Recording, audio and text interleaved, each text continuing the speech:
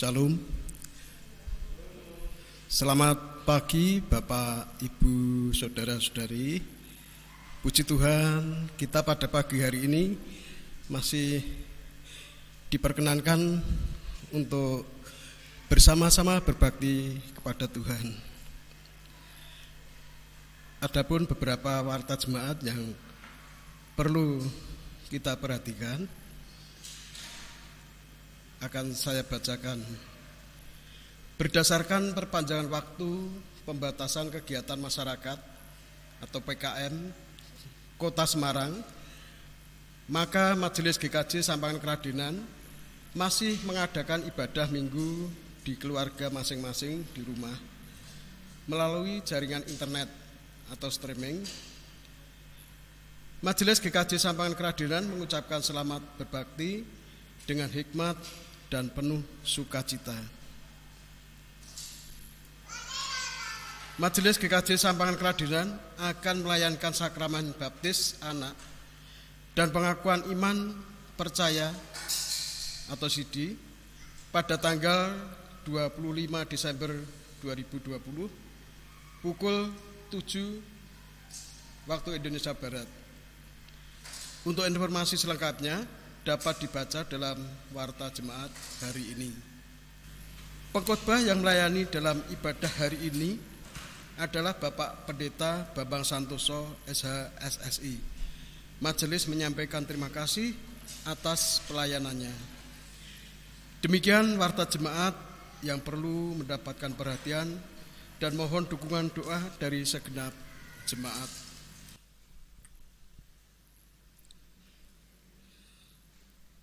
Saudaraku, ingatkah kita dengan apa yang disampaikan oleh Paulus? Demikian. Tetapi setelah genap waktunya, maka Allah mengutus anaknya yang lahir dari seorang perempuan dan takluk kepada hukum Taurat. Ia diutus untuk menebus mereka yang takluk kepada hukum Taurat, supaya kita diterima menjadi anak. Ya, waktunya sudah hampir tiba. Sang juru selamat akan segera datang. Kami undang jemaat untuk bangkit berdiri. Mari kita pujikan dari Kidung Jemaat 87 bait yang pertama.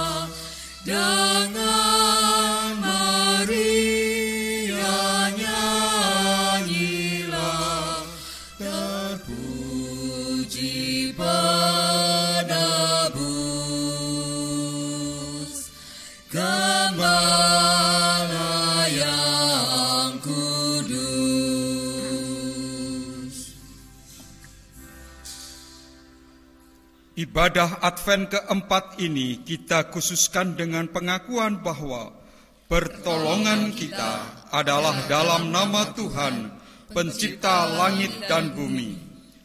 Kasih karunia dan damai sejahtera dari Allah Bapa kita dan dari Tuhan Yesus Kristus serta persekutuan Roh Kudus menyertai saudara sekalian.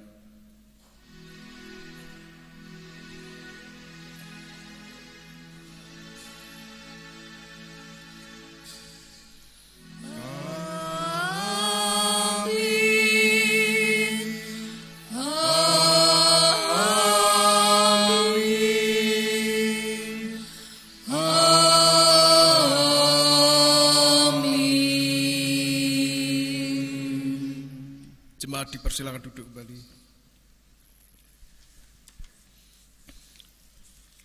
Saudaraku, lilin sudah dinyalakan.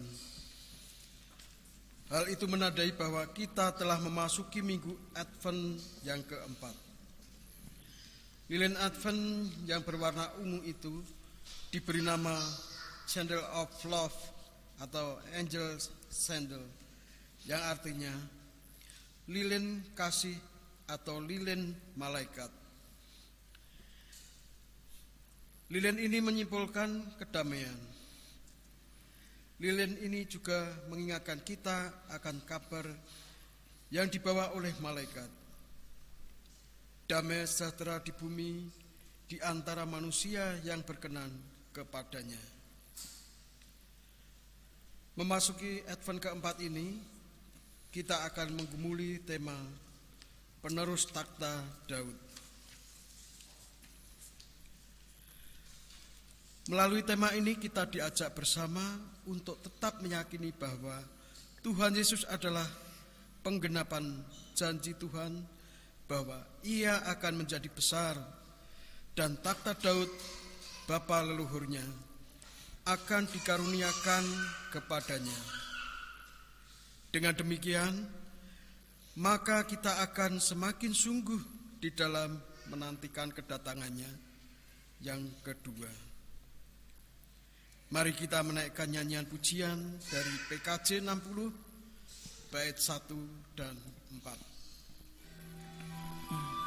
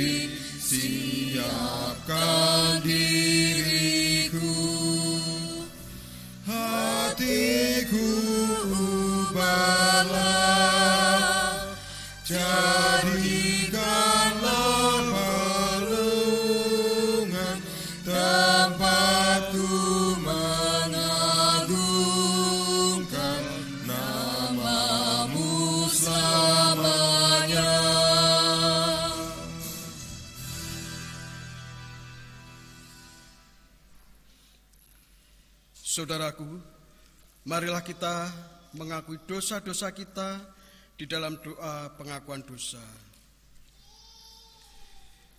Ya Tuhan, berbagai pengalaman kehidupan telah kami lalui.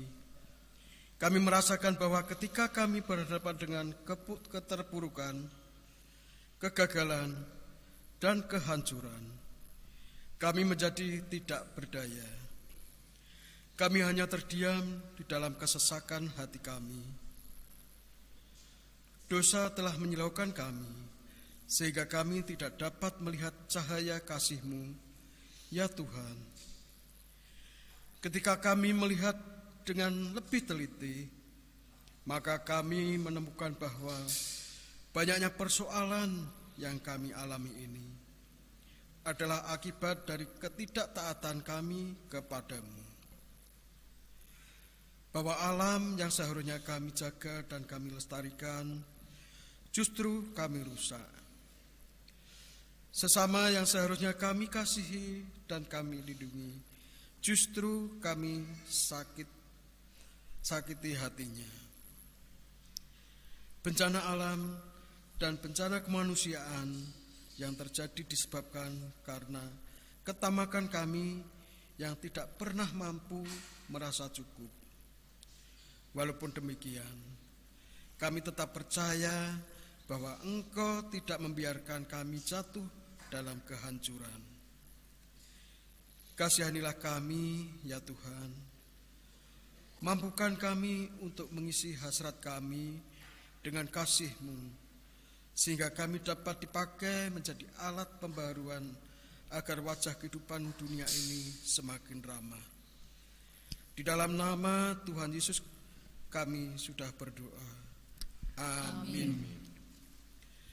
Jemaat mari kita menyanyikan dari PKJ 40 bait 1 dan bait kedua.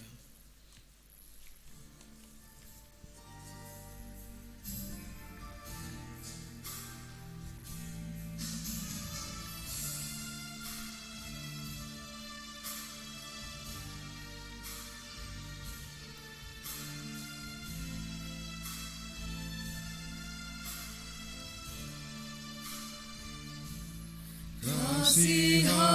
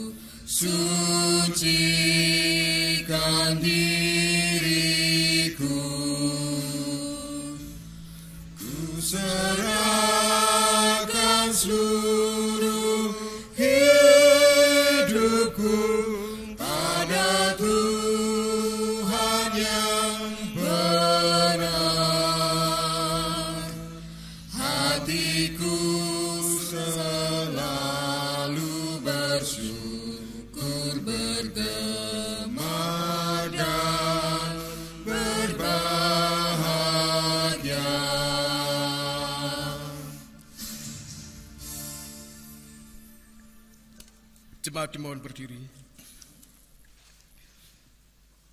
Setelah kita mengakui dosa, kita akan menerima berita anugerah melalui kitab Yesaya 12 ayat 1 sampai 3.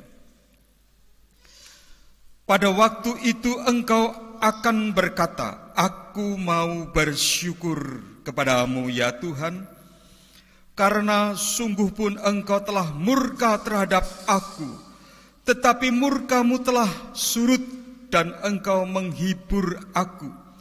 Sungguh Allah itu keselamatanku.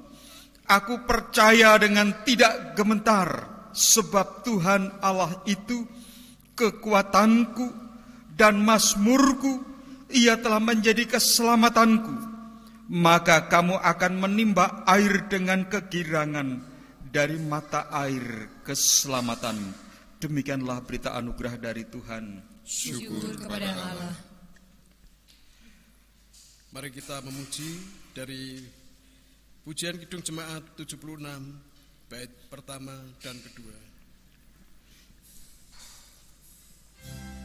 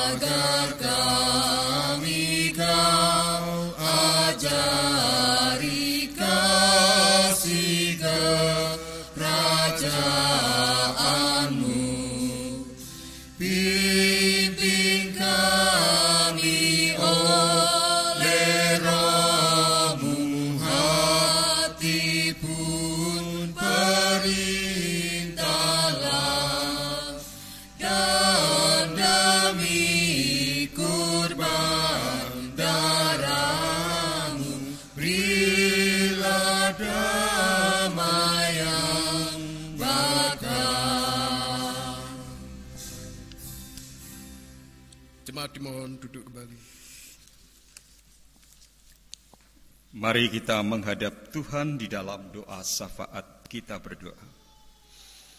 Bapa di surga kami bersyukur oleh karena pemeliharaan Tuhan di dalam kehidupan kami. Saat ini kami akan mengangkat syafaat kami. Pertama-tama bagi saudara-saudara kami yang mengalami kelemahan fisik, yaitu Ibu Samijan, Bapak dan Ibu Kirin, Bapak dan Ibu Andreas Suknowati, Bapak Sutiono, Ibu Kosran, Bapak Suratno, Bapak Dwi Martanto, Bapak Ibu Sunarno, Ibu Mulyono, Ibu Jati Agus, Bapak Johan Supriyanto, Bapak Kosananto Agung, Bapak Sarim, Bapak Lasono, Ibu Rasid, Bapak dan Ibu Hartawan, serta saudara-saudara kami yang lain yang belum dapat kami sebutkan satu persatu. Kami menyerahkan keberadaan saudara kami ini ke dalam tanganmu ya Bapa. Di dalam nama Tuhan Yesus, kuasa pemulihanmu terjadi. Kami juga mendoakan keluarga Ibu Broto yang belum lama Bapak Broto engkau panggil pulang ke rumah Bapa. Tuhan kiranya menguatkan keluarga dan putra-putranya yang ditinggalkan beserta saudara-saudara tetap tabah menghadapi segala sesuatunya dan menerima ini sebagai karya Tuhan yang indah. Kami juga mendoakan setiap keluarga yang ada di jemaatmu di sini ya Bapak, dengan berbagai pergumulannya, dengan berbagai kebutuhannya, Tuhan sendiri yang akan menjadi solusi setiap permasalahan yang dihadapi. Kami mendoakan pergumulan anak-anak kami, baik berkaitan dengan pergumulan iman, pertumbuhan iman, studi, pekerjaan, pergaulan, pasangan hidup, dan sebagainya. Tuhan senantiasa menyertai, Tuhan senantiasa menuntun. Kami menyerahkan jemaatmu GKJ Sampangan Keratinan ini ke dalam tanganmu ya Bapak. Kiranya jemaat tetap teguh, tekun, dan tetap guyup sekalipun di dalam keterbatasan. Kiranya suasana yang indah tetap terjaga di tengah-tengah berbagai persoalan yang terjadi. Berkati majelis gereja, komisi-komisi, panitia-panitia, tenaga gereja, dan seluruh pelayan-pelayan yang melayani di jemaat ini ya Bapak. Berkati warga jemaat di dalam profesi mereka masing-masing, di dalam kesibukan mereka masing-masing, Tuhan tetap diakui di jalannya. Demikian juga berkati pelayanan gereja pada sekolah-sekolah Kristen, rumah sakit-rumah sakit Kristen, panti asuhan, panti breda dan sebagainya. Tuhan berkati. Tuhan berkati kegiatan klasikal, kegiatan sinode, sehingga semuanya dapat berjalan seiring dalam rangka pembangunan iman. Berkati bangsa dan negara kami ya Bapa. Kami merasakan saat ini ada berbagai cobaan yang menerpa, menimpa bangsa kami. Di tengah-tengah situasi pandemi, ada kelompok-kelompok yang haus akan kekuasaan, kelompok-kelompok yang hanya ingin mencari kesempatan-kesempatan. Berkatilah bangsa kami, berikan stabilitas. Pemimpin-pemimpin yang jujur kiranya tetap berdiri, tetap menjalankan pemerintahan ini. Dan jauhkanlah dari segala hal yang bertujuan hanya ingin merongrong, mengganti dasar negara Pancasila biarlah kami hidup tentram dan damai. Bapa di surga, juga berkatilah bangsa kami, juga bangsa-bangsa yang lain di dalam bersama-sama menghadapi pandemi COVID-19 ini. Kiranya virus ini akan segera mereda. Kami mohon pertolonganmu ya Bapa, dan kiranya umat menanggapi dengan sikap yang positif dengan disiplin dan tertib. Terima kasih ya Bapak. Kami menyerahkan seluruh doa kami di dalam nama Tuhan Yesus Kristus, Juru Selamat kami yang sejati. Amin.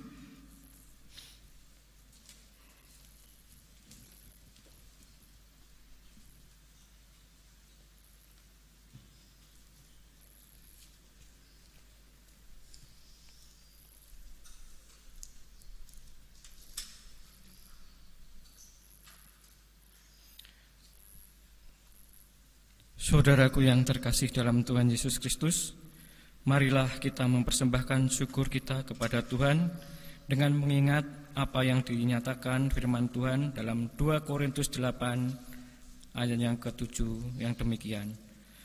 Maka sekarang sama seperti kamu kaya dalam segala sesuatu, dalam iman, dalam perkataan, dalam pengetahuan, dalam kesungguhan untuk membantu dan dalam kasihmu terhadap kami. Demikianlah juga hendaknya kamu kaya dalam pelayanan kasih ini. Jemaat mengaturkan persembahan seraya menyanyikan Kidung Jemaat 302 bait pertama sampai dengan yang ketiga.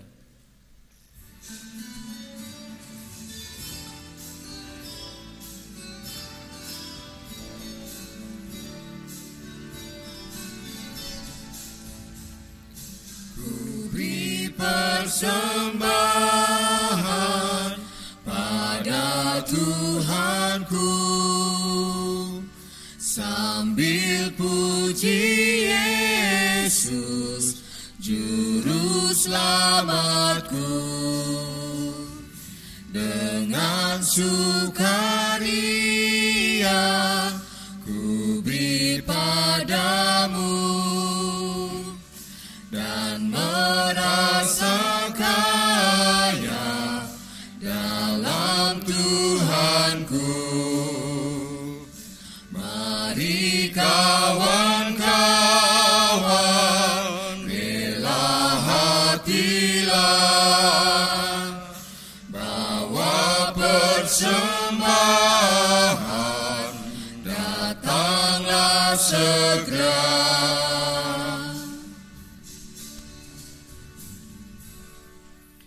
Jemaat kami undang berdiri.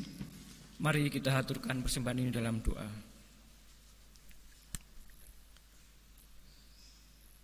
Tuhan Allah Bapa kami yang ada di surga, Tuhan Allah yang kami sembah, kami puji, kami muliakan di dalam nama Tuhan Yesus Kristus Juru Selamat kami yang sejati. Bapa yang Maha Pengasih dan Penyayang, Bapa Maha Pemurah. Pada kesempatan yang indah ini, kami mengucapkan puji syukur dan terima kasih atas segala berkat rahmat dan kemurahan-Mu, terlebih kesehatan dan keselamatan yang Tuhan senantiasa kepada kami, berikan kepada kami dari lepas hari hingga pada saat ini.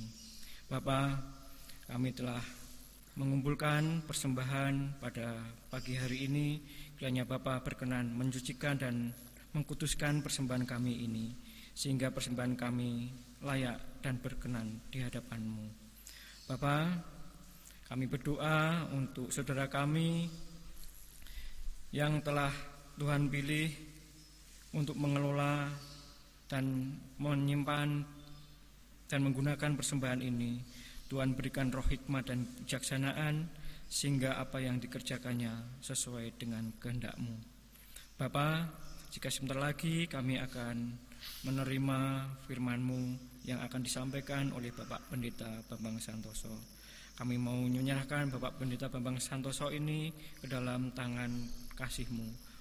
Urapi dengan roh kudus-Mu sehingga apa yang disampaikannya dapat kami mengerti, kami pahami, dan terlebih kami bisa melaksanakan firman-Mu itu dalam kehidupan kami selanjutnya. Bapa, jika di dalam kami mengaturkan persembahan dan berdoa terselip dosa dan dosa dan kesalahan, kami mohon pengampunan-Mu. Di dalam nama Tuhan Yesus Kristus, doa ini kami naikkan. Amin. Jemaat dipersilahkan duduk kembali.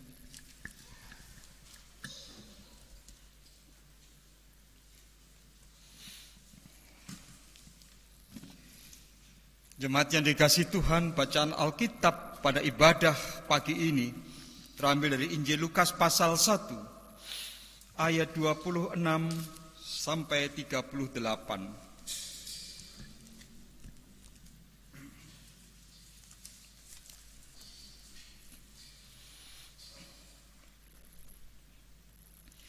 Dalam bulan yang keenam Allah menyuruh malaikat Gabriel pergi ke sebuah kota di Galilea bernama Nazaret. Kepada seorang perawan yang bertunangan dengan seorang bernama Yusuf dari keluarga Daud. Nama perawan itu Maria. Ketika malaikat itu masuk ke rumah Maria, ia berkata, "Salam hai engkau yang dikaruniai, Tuhan menyertai engkau." Maria terkejut mendengar perkataan itu, lalu bertanya di dalam hatinya, "Apakah arti salam itu?" Kata malaikat itu kepadanya, "Jangan takut, hai Maria, sebab engkau beroleh kasih karunia di hadapan Allah. Sesungguhnya engkau akan mengandung dan akan melahirkan seorang anak laki-laki dan hendaklah engkau menamai dia Yesus. Ia akan menjadi besar dan akan disebut anak Allah yang maha tinggi. Dan Tuhan Allah akan mengaruniakan kepadanya tahta Daud, bapa leluhurnya Kata Maria kepada malaikat itu, "Bagaimana hal itu mungkin terjadi karena aku belum bersuami?" Jawab malaikat itu kepadanya, "Roh Kudus akan turun atasmu dan kuasa Allah yang Maha Tinggi akan menaungi engkau. Sebab itu anak yang akan kau lahirkan itu akan disebut kudus anak Allah. Dan sesungguhnya Elizabeth anakmu, sanakmu itu, ia pun sedang mengandung seorang anak laki-laki pada hari tuanya. Dan inilah bulan yang keenam bagi dia yang disebut mandul itu. Sebab bagi Allah tidak ada yang mustahil. Kata Maria, Sesungguhnya aku ini adalah hamba Tuhan. Jadilah padaku menurut perkataanmu itu. Lalu malaikat itu meninggalkan dia. Demikianlah pembacaan sabda Tuhan yang berbahagia ialah setiap orang yang mendengarkan dan memelihara firman Tuhan. Maranatha,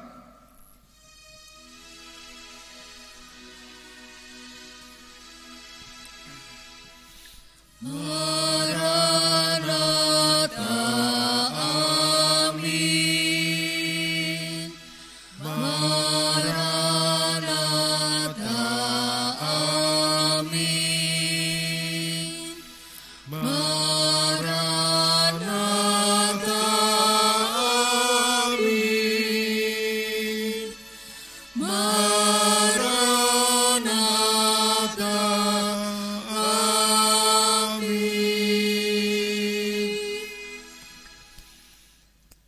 Yang terkasih, judul khotbah pagi ini adalah penerus tahta Daud. Apa artinya?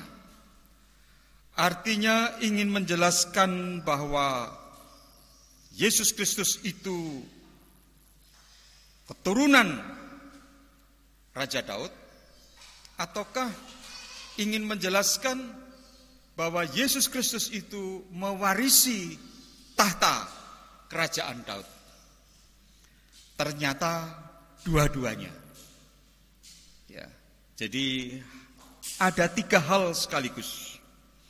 Pertama, bahwa lahirnya Yesus Kristus itu adalah penggenapan janji Tuhan.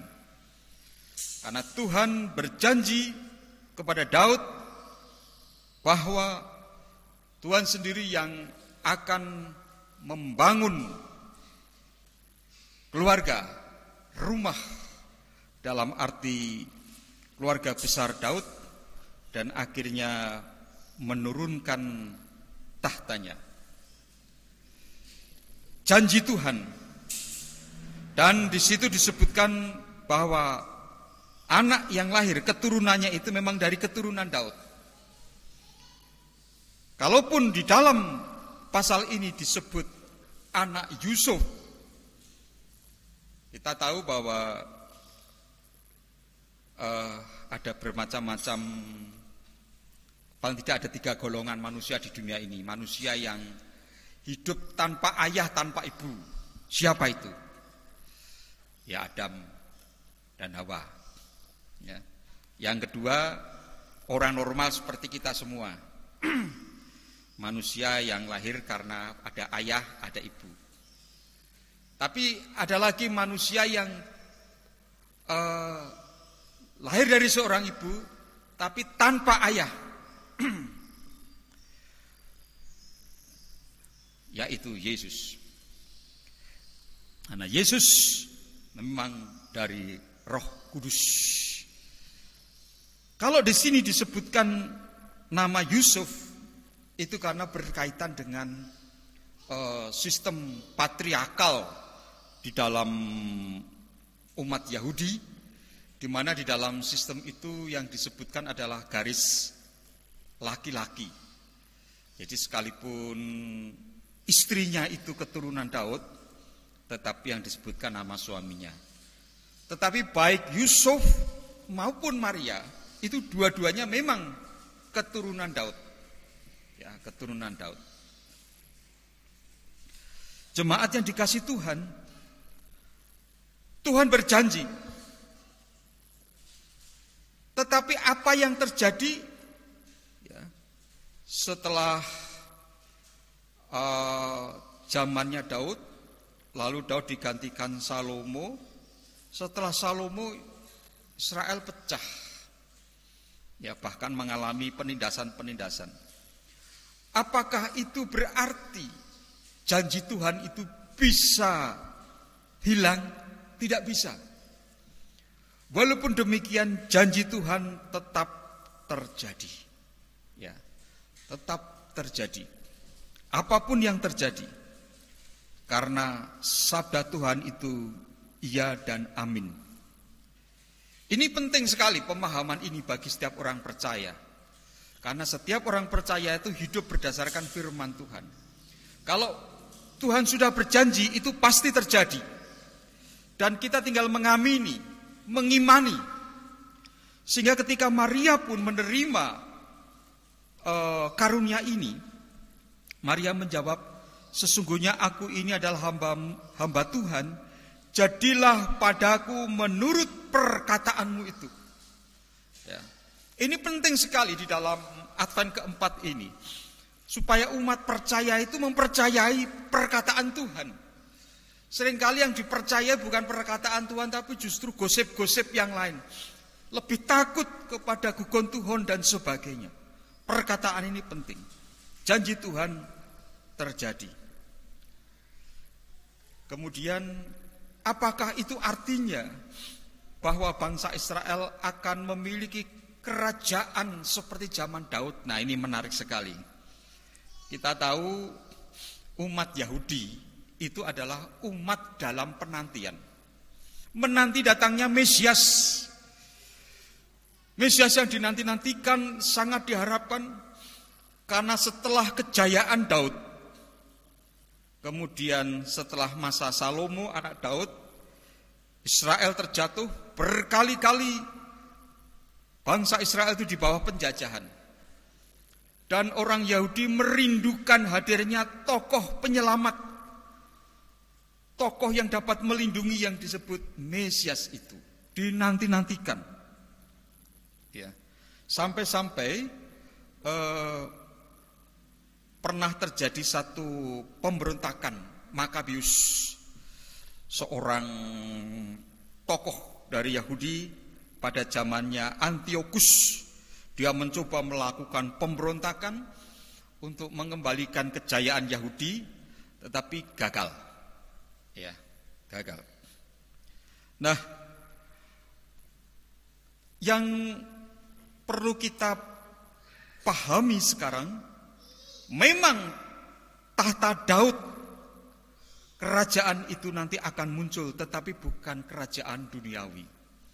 Ya, juga bukan digembar-gemborkan dengan senjata, dengan kekerasan, apalagi ambisi-ambisi membangun uh,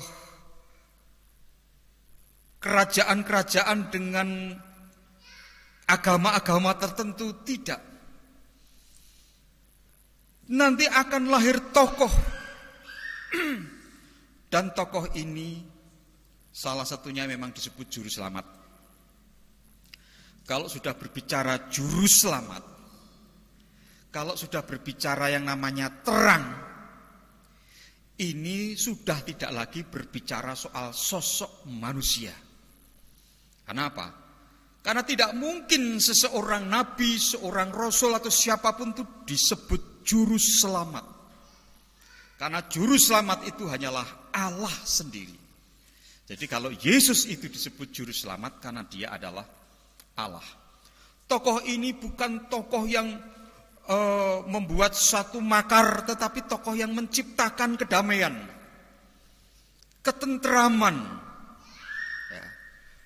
suatu suasana kerajaan yang penuh kedamaian.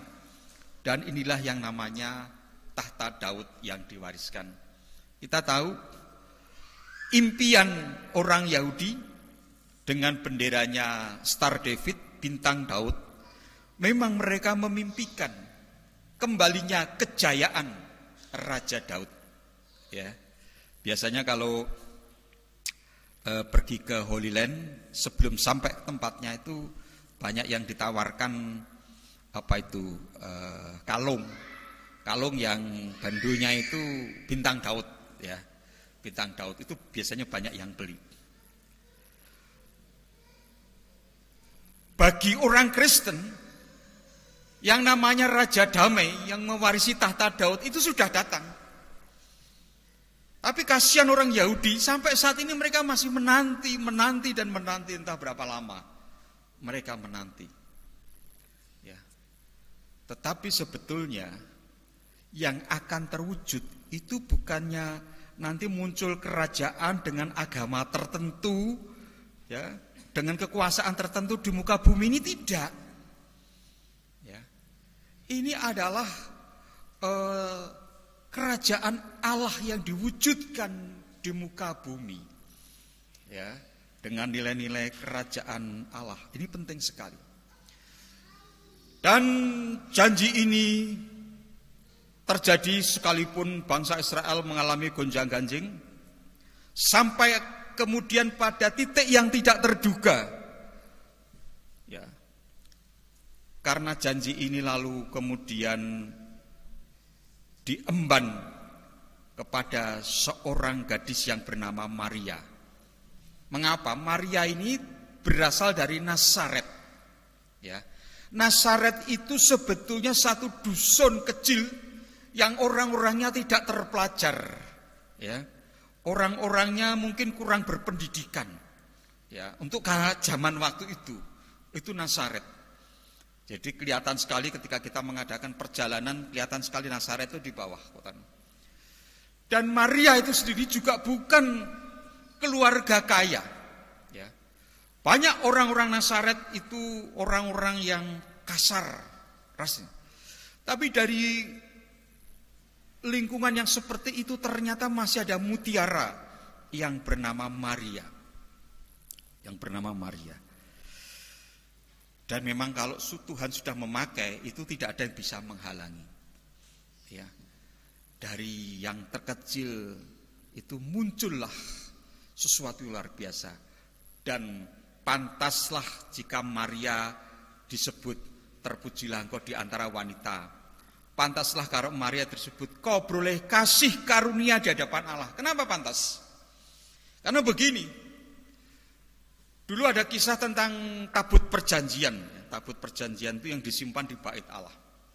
Suatu rumah yang dititipi tabut perjanjian, rumah itu selalu diberkati. Itu yang dititipi tabut perjanjian itu. Itu baru tabut perjanjian. Siapa yang dikandung Maria itu siapa? Yesus. Tapi Yesus itu siapa? Yesus itu firman Allah. Apakah ketika firman Allah menjadi manusia, firman Allahnya hilang? Oh tidak. Berarti di dalam diri Maria itu ada sosok yang secara manusiawi adalah Yesus. Tapi secara hakiki dia adalah firman Allah. Apa apa enggak luar biasa itu? Ya, orang yang seperti itu. Ya. Jangankan yang Eh, mengandung Yesus Kristus. Katakan orang yang pernah mengandung tokoh besar seperti Bung Karno, gitu aja sudah bangganya bukan main. Luar biasa.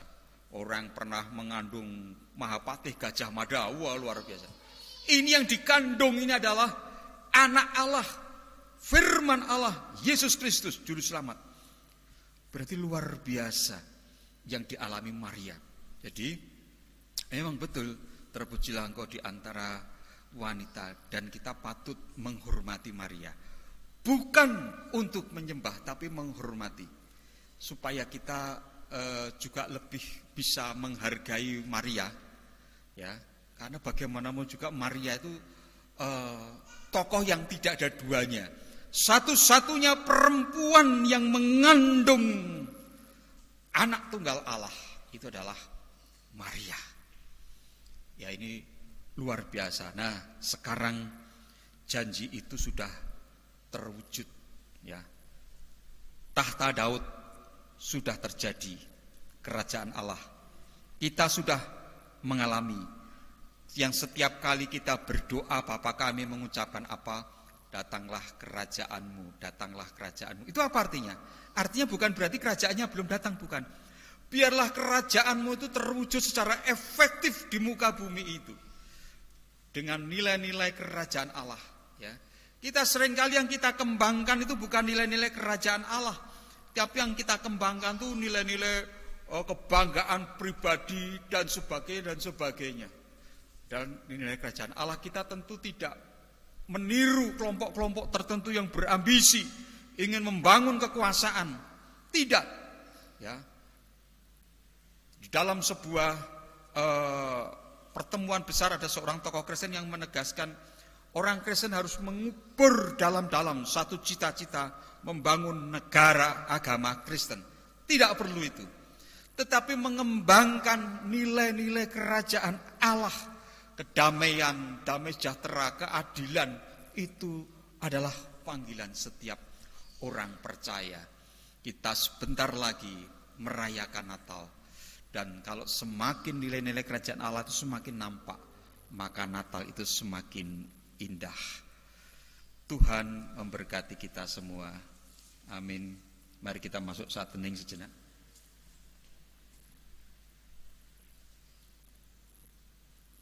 Cukup.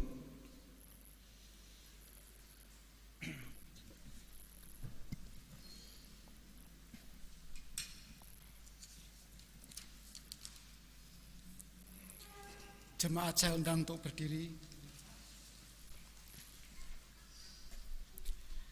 Bersama dengan umat Allah di segala masa dan tempat, kita mengingat pengakuan kita menurut pengakuan iman rasuli yang demikian. Aku percaya kepada Allah Bapa yang Maha Kuasa, Khalik langit dan bumi, dan kepada Yesus Kristus, anaknya yang tunggal Tuhan kita, yang dikandung daripada roh kudus, lahir dari anak darah Maria, yang menderita di bawah pemerintahan Pontius Pilatus, disalibkan, mati dan dikuburkan, turun ke dalam kerajaan maut. Pada hari yang ketiga bangkit pula dari antara orang mati, naik ke surga, duduk di sebelah kanan Allah Bapa yang Maha Kuasa, dan akan datang dari sana untuk menghakimi orang yang hidup dan mati. Aku percaya kepada Roh Kudus, gereja yang kudus dan am, persekutuan orang kudus, pengampunan dosa, kebangkitan daging dan hidup yang kekal. Dipersilakan duduk kembali.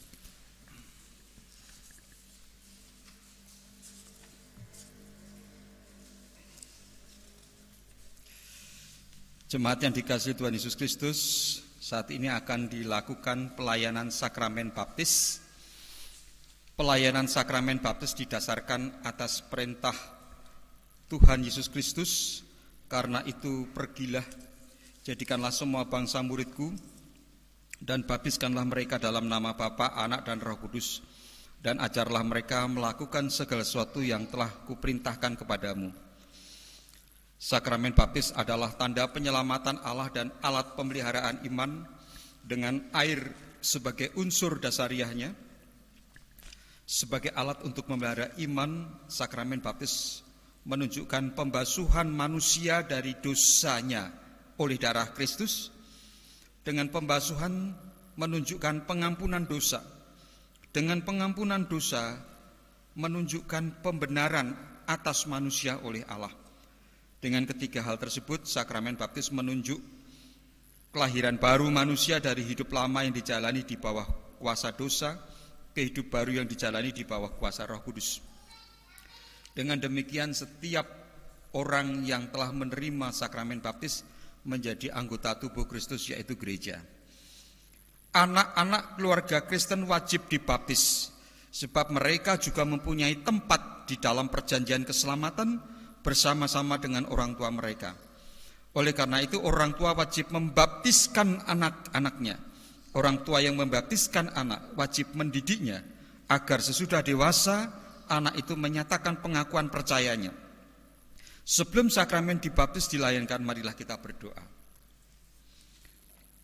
Ya Tuhan, kiranya Tuhan berkenan memakai sakramen baptis ini menjadi sarana untuk memelihara iman kami sehingga kami senantiasa yakin bahwa dosa-dosa kami telah diampuni dan kami menjadi anak-anak Allah yang menjalani hidup baru.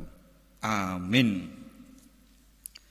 Saudara yang akan membaptiskan anak-anaknya yaitu Bapak Ibu Waluyo Ponco Seputro kami persilahkan berdiri di tengah.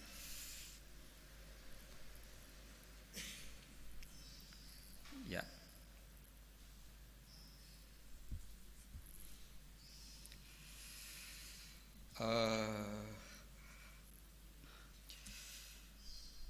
supaya jelas bahwa saudara percaya anak saudara dikaruniai keselamatan serta saudara sanggup mendidik anak saudara agar ketika dewasa ia menyatakan pengakuan percayanya, saudara dipersilahkan menjawab pertanyaan berikut ini.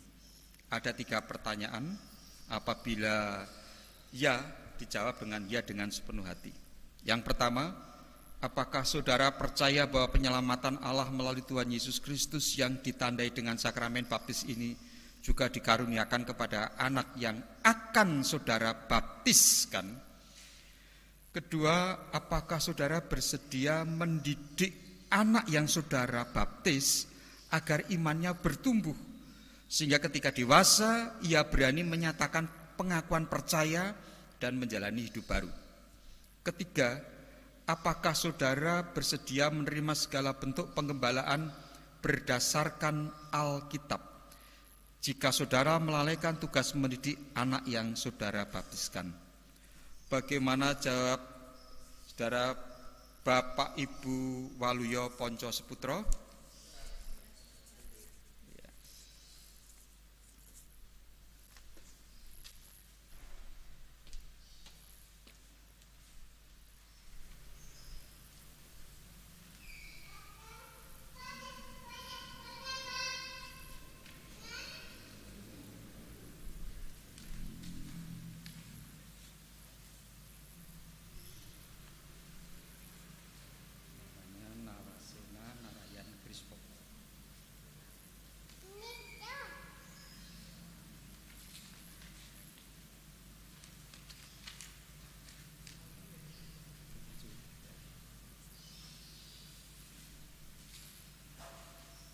Yang terkasih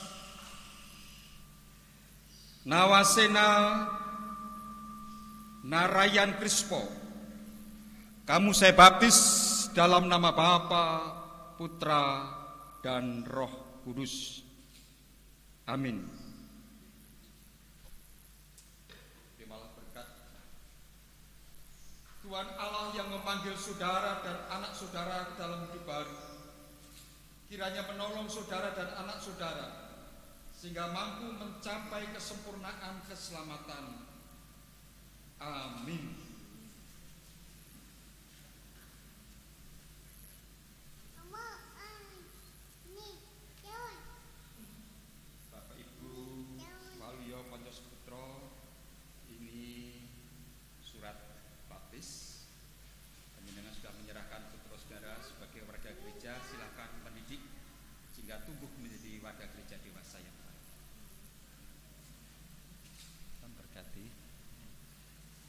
Kadang menghadap ke arah maaf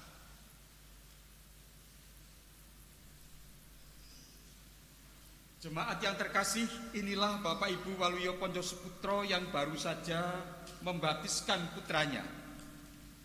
Terima dan sambutlah dia di dalam Tuhan sebagaimana seharusnya bagi orang kudus. Bantulah anak-anak ini dan orang tuanya agar anak ini bertumbuh imannya dalam Tuhan sehingga pada saatnya menjadi anggota gereja yang bertanggung jawab di dalam pimpinan Roh Kudus. Bapak Ibu semua bersedia mendukung? Terima kasih. Saya persilakan untuk kembali.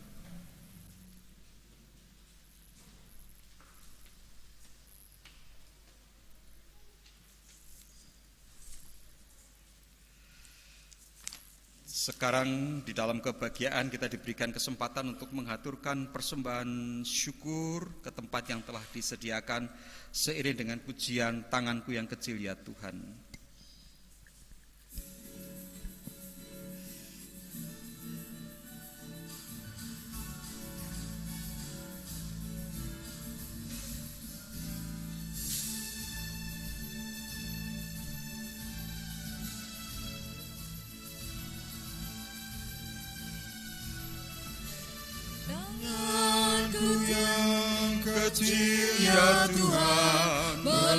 Mencari makan sendiri ya Tuhan. Terimalah hatiku Tuhan. Menjadi persembahan yang Tuhan berkenan. Terimalah Tuhan, oh terimalah Tuhan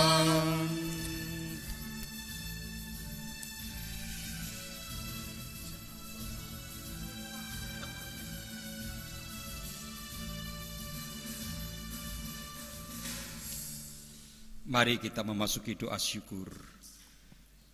Terima kasih atas ibadah pagi ini ya Tuhan, terima kasih atas kehadiranmu yang telah memberikan kesempatan kami mendengarkan sabdamu dan menerima sakramen baptis. Kiranya apa yang telah terjadi terus di dalam pemeliharaanmu sehingga umat kami bertumbuh yang dewasa mendidik yang muda, yang muda bertumbuh menjadi dewasa. Kami bersyukur atas segalanya di dalam nama Tuhan Yesus yang mengajar kami berdoa Bapa kami, kami berdoa. Amin.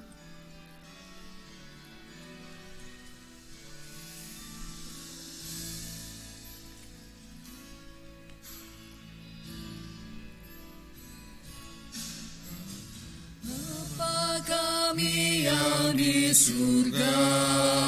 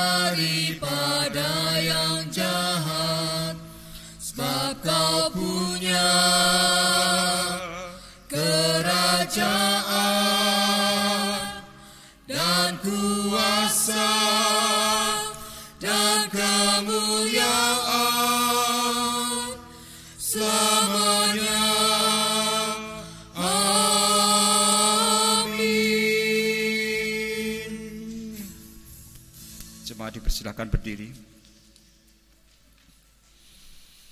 Saudaraku, dengan tetap beriman kepada Tuhan, maka sekarang arahkanlah pandangan saudara kepada dunia. Dengan tetap berpegang pada Kristus, kami mengarahkan pandangan kami kepada dunia. Jadilah sahabat sesama, sebab kami rindu mempersaksikan Kristus terpujilah Allah Bapa, Anak dan Roh Kudus. Yang tidak pernah memisahkan kami dari kasihnya sekarang dan selama-lamanya. Pergilah dalam damai sejahtera dan terimalah berkat dari Tuhan.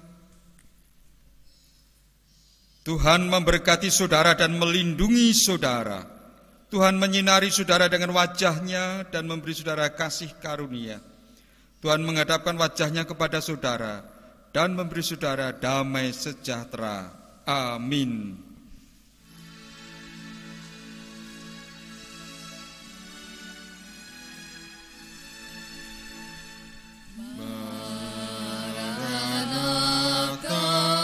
Oh.